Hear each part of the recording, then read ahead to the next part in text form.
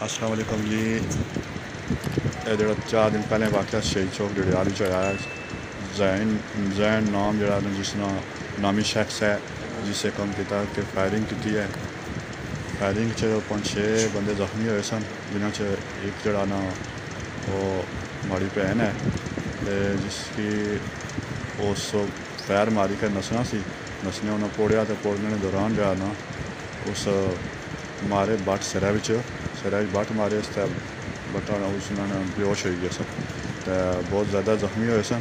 تو انہیں اصل کی جڑیال تو ریفر کیا میرپور ہیڈ کوارٹر جا نا سرکاری ہسپتال تو اتنے اصل آئے ہاں دو دن جا نا اتنے داخل کیا نے تو اس بعد کوئی تھوڑی بہت ٹریٹمنٹ ہوئی ہے۔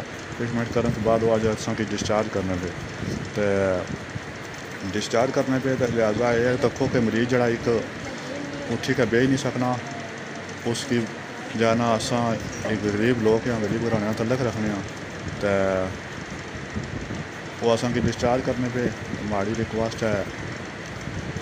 محکمہ صحت آزاد کشمیر وزیر اعظم کی محکمہ صحت سیکٹری کی کہ سارے نال تعاون کیا جائے کہ اصل کی کوئی آنا سہولت دیتی جائے، جس میں انہوں نے کوئی علاج کیا جائے۔